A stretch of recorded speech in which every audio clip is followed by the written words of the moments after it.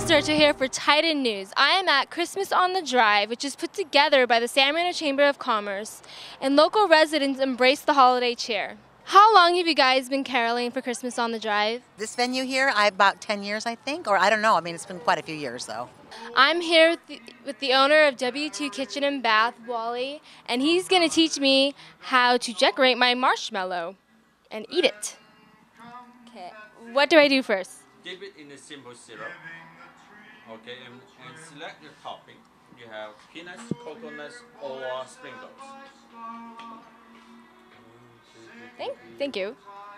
You're welcome. And then this is coconuts. And you can have some sprinkles. Yeah, it's we call DIY marshmallow workshop. Looks delicious. I'm going to try it now. Mmm. How do you guys feel about contributing to Christmas on the Drive?